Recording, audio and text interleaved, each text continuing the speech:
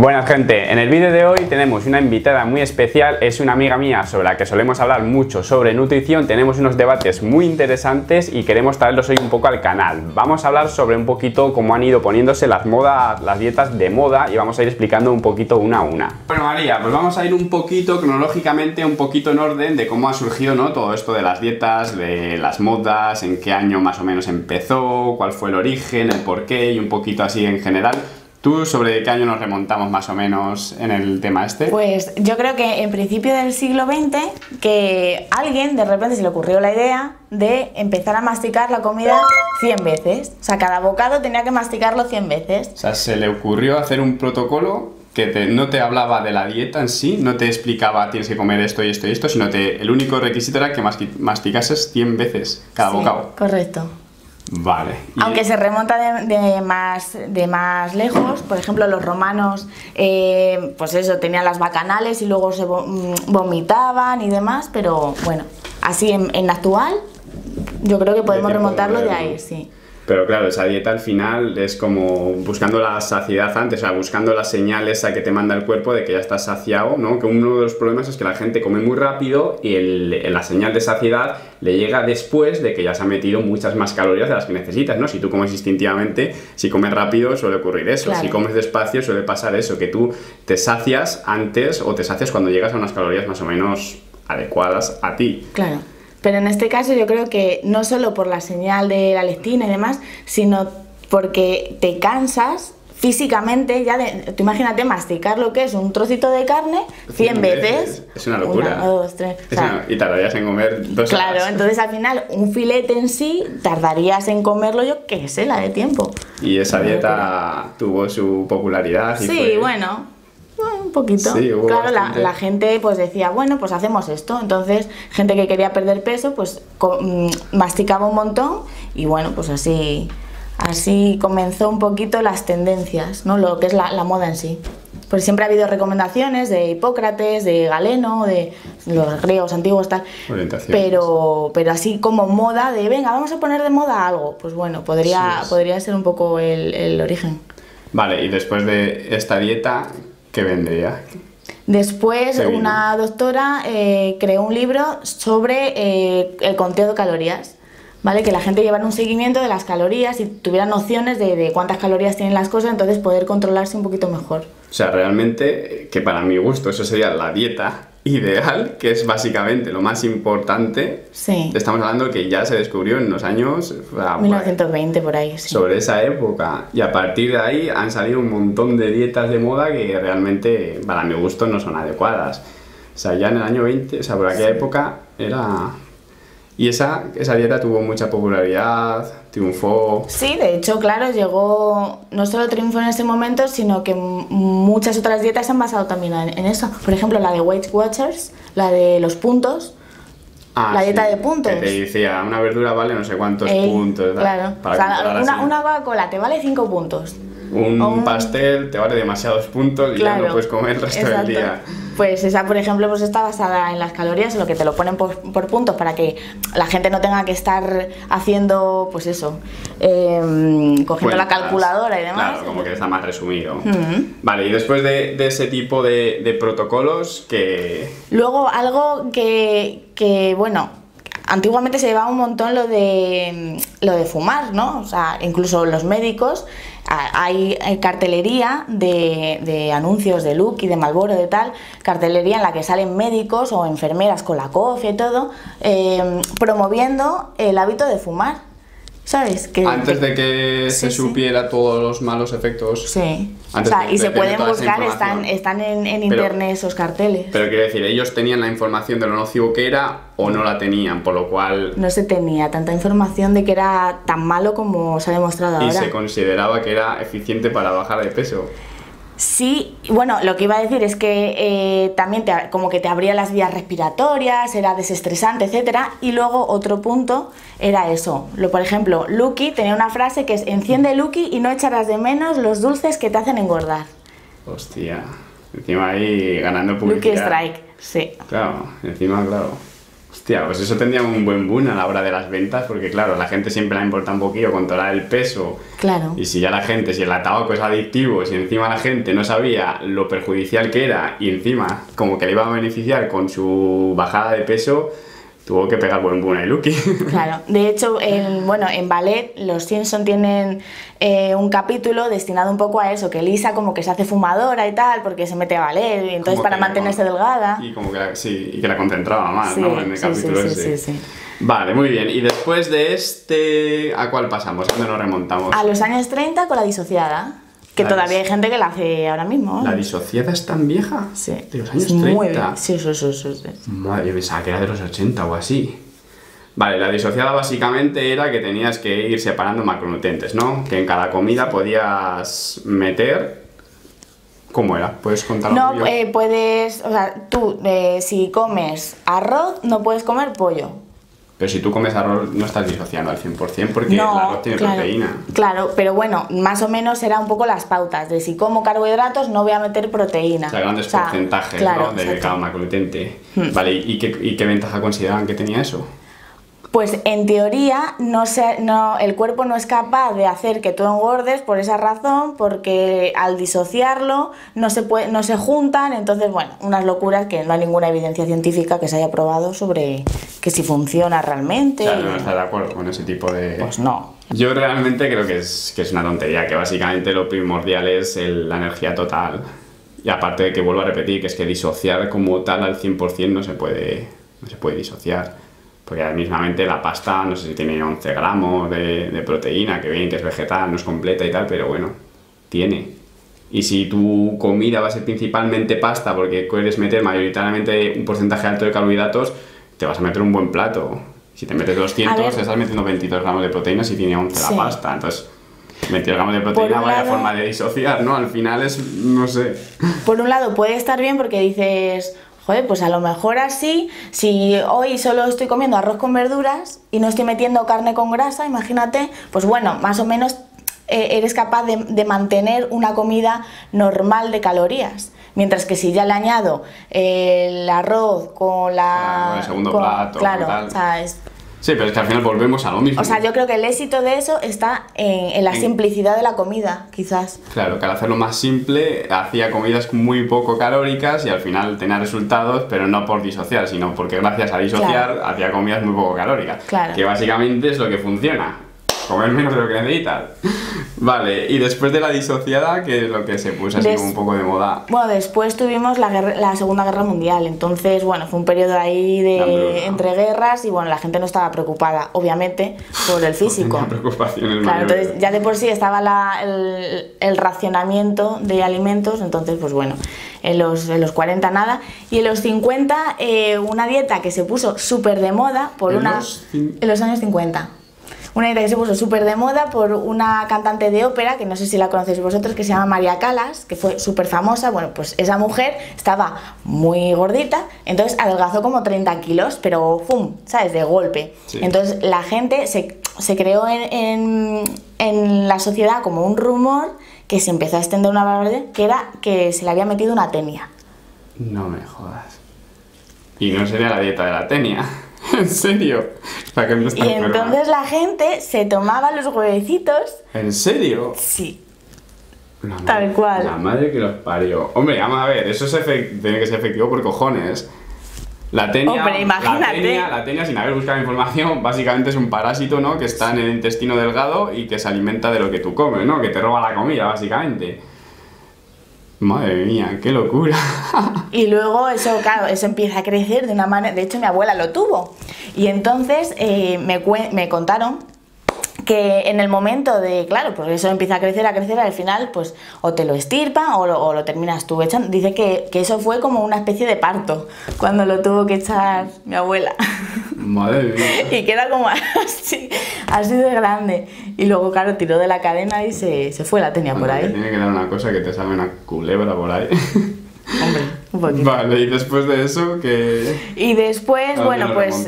Eh, luego en los años 50, como que siguió un poco, luego se también se hizo el bajo en grasa, ¿no? El empezar a... Se empezó a martirizar lo que viene a ser los lípidos, ¿no? En plan de, venga, tocó a los lípidos, venga, os ha tocado a vosotros. Sí, sobre todo los grupos de alimentos más grasos, que son como carnes grasas y demás. Hombre, yo dentro de los protocolos, al final, los lípidos, al ser el macronutriente más calórico, el tener un poco a raya creo que tampoco es mala idea, en principio. Y nuestras necesidades de lípidos al día no son muy altas. En torno a un 10% ya con eso tiras millas, ¿no? Entonces bueno, ese protocolo tampoco lo veo tan mal, ¿no? Tener un poquito los lípidos controlados, aunque bueno, volvemos a lo mismo, al final es el total energético lo que importa, pero bueno. Entonces, vale, se empezó a dar caña a los, a los lípidos. Y también me gustaría decir, que bueno, te lo he comentado en otras ocasiones, que hay algo que la gente no sabe y, que, y por qué razón eh, todos los, la, la, proteína animal alta en grasa es mm, bastante peligrosa, es porque las toxinas se acumulan en el tejido adiposo. Entonces, pues contra menos... Siempre para, para elegir proteína animal debemos elegir primero juventud, juventud de, del ser. Menos tiempo a que se acumule toxina. Exacto. Y segundo, grasa, porque en el tejido adiposo es donde se acumula, entonces pues un huevo, por ejemplo, es más sano que una gallina vieja. Claro. Más joven también. Yo básicamente soy el tonto que los entrecot y todas las partes grasas cuando voy con alguien que, que los deja, cacho de pan y para adentro y me encanta. O sea, me estoy metiendo un montón de toxinas. Aparte de calorías que ya las daba por hecho, pero bueno. Pero si lo haces un día a la semana, el problema es que, claro, el, el todo, el, el problema aquí siempre va a ser en nutrición el todos los días. Todos los días me como bollos industriales, todos los días... Todos los días haces de todo. Vale, vale, vale. Bien. Y después de, la, de esta fobia por, por las grasas, que supongo que en aquella época sería cuando se empezaría el, el 0% grasa, quizás. Sí. empezaría el boom de los productos de 0% grasa y las ventas, y venga. Al final, ¿no? Como que las dietas y la alimentación van un poco a la corriente de, del dinero, ¿no? Como que esto le mueve un poco el dinero y siempre la gente lo ha sacado partido, ¿no? Al hecho de que la gente se quiera cuidar, pues los alimentos, las dietas y bueno y después de, la, de las grasas que... Y bueno, de hecho el New York Times sacó una portada de revista, que si puedes se la busca y se la pones a los suscriptores, que eh, era como dos huevos y un bacon con una carita triste. Y luego a los años, en contraposición a esa portada, sacaron otra portada que era dos huevos con una carita feliz. En plan, y era fat, eh, good news, porque la otra era fat, bad news, me parece que era algo así pero vamos, lo busca y os lo pone. ¿Y el cambio por qué fue? Eh, porque bueno, se hicieron otra serie de descubrimientos en el que... Que todo lo que habían dicho tuvieron que... Entonces, claro, cogieron a sujetos, entonces les sometieron a dietas altas en grasa, bajos en, hidratos, etcétera, etcétera. Entonces, pues, pues se cambió. Entonces ya es cuando vino la dieta Atkins. Ah, vale, entonces ahí de pasar de la fobia de las grasas empezó a poner de moda eh, las grasas y proteínas altas y un poquito los hidratos a raya, ¿no? Claro, porque la gente entraba en... Y la dieta Atkins, claro, que es un estado bastante... ¿Y la Atkins sobre qué año se puso de moda? En los 70, se creó por los 70. ¿Y esta creo que la inventó un médico también? Sí, no era... No es el médico Atkins, puede, puede igual que no lo he mirado. Sí, eh, que ¿Atkins crees que, que, era francés? O, ah, no, o era, no, o este era estadounidense. No me acuerdo. Vale, y la dieta Atkins... No, el francés es el otro, el Dukan. La dieta Atkins, el protocolo es entrar y buscar la cetosis como tal. Sí. Claro, ah, porque no se, no se toma nada de de hidratos. Bueno, dicen que con menos de 100 gramos de hidratos al día puedes llegar a entrar en cetosis. Algunas personas. Sí, pero aquí, en esta era quesos, bacon, o sea, todo súper pero daba, daba, unas nociones de, bueno, aunque vamos a entrar en cetosis, tampoco te puedes meter 4.000 calorías en grasas porque al final... No, el, eh, vamos, luego lo suavizaron porque, claro, era un poco escándalo. De hecho, el, de hecho, el hombre, el Atkin este, si podéis buscar información, porque las muertes, o sea, la, muerte, las condiciones de la muerte fueron un poco... ¿Hubo muertes? La muerte de él. Bueno, ah, ha habido muchísima gente que se ha ido al hospital. Yo entre ellos conozco una persona que terminó en el hospital por hacer la Atkins. Vale, entonces después de la dieta Atkins, eh, ¿cuál, ¿cuál vino? Después de la dieta Atkins tenemos los años 80. Sí. Que no sé si te acordarás. Jane Fonda con Nairobi. Soy del 85. Bueno. Sí, ya muy pequeño.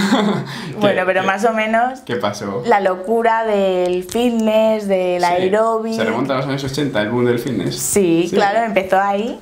Luego las, las, barritas energéticas, los batidos de proteína. O sea, digamos que fue el boom de, en realidad de cuidarse de una manera... Sí, empezó ahí. Vale, y después de los 80 vino los 90. ¿Y qué? ¿En los 90 qué? En los 90 hay un mogollón de dietas. Está como la, la, la dieta de la alcachofa, que sobre todo aquí en España eh, es el icono de la dieta de la alcachofa era Rocito, la hija de Rocío Jurado. Que tuvo buenos resultados. sí, entonces la hicieron como imagen de, de la alcachofa. ¿Y la alcachofa en qué se basa? ¿En comerse la alcachofa? Sí, básicamente. Luego sacaron cápsulas y no sé qué, pero sí, era mucha alcachofa diaria, mucha alcachofa. Y la alcachofa que da saciedad y pocas calorías. Es diurética y luego tiene mucha fibra, entonces te da... Saciedad.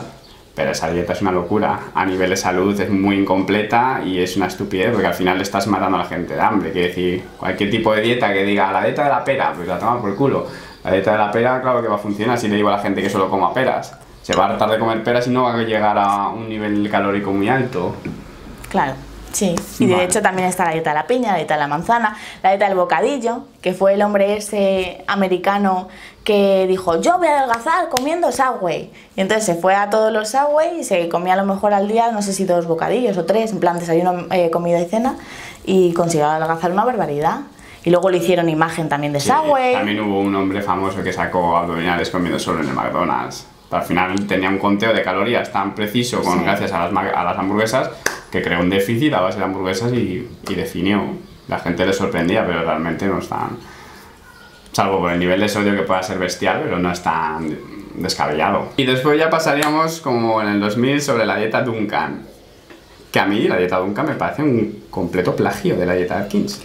Bueno, básicamente es lo mismo. Sí, no, por un lado, a ver, la, dieta Duncan tiene como que se restringe un poquito más las, las la proteína animal alta en grasa.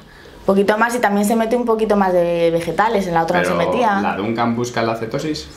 Sí, lo que pasa que también han hecho versiones y entonces también le meten, no sé si una cucharada de salvado de trigo y una cucharada de salvado de avena, creo que era, también, te dejan meter. ¿Y no ha tenido problemas de copyright esa dieta? Que yo sepa, no. Esa dieta eh, generó muchísimos ingresos porque, claro, era una dieta que aparte de seguir el protocolo, ya te, te, potenciaban los alimentos, ¿no? Eran los alimentos Duncan, de cómpralo y como que a la gente se lo hacía más fácil. Y bueno, vendiendo alimentos Duncan, bueno, tuve que hacer un, un, dinero bestial, bestial, bestial. Sí, y de hecho todavía, vamos, en los, hay supermercados, yo creo que en Carrefour. En Carrefour están las barritas y... Sí, sí, sí, sí. Vale, después eh, pasaríamos a, a, la dieta paleo, ¿puede ser? Sí. La dieta paleo, que todavía está de moda, ¿En, qué, consistía? Esta es como la de los crossfiteros, ¿no? Sí, sí, sí. ¿Qué opinión tienes tú un poquito sobre esta dieta? A ver, pues me gusta, me gusta, parece mentira que yo te lo diga, me gusta la dieta paleo llevada bien a cabo, ¿no? Porque... ¿Cuál es? Pues un poco el protocolo de la paleo es... La paleo es comer proteína, y vegetales y un poquito de frutas y eso. Lo que, lo que más, la pirámide yo creo que es, eh, bueno, depende, es que hay gente que la hace bien, que mete abajo de la pirámide vegetales y otra gente mete abajo de la pirámide proteínas. Entonces... Vale, pero bueno, básicamente lo que tienes que huir es de, lo, de los carbohidratos refinados. Sí.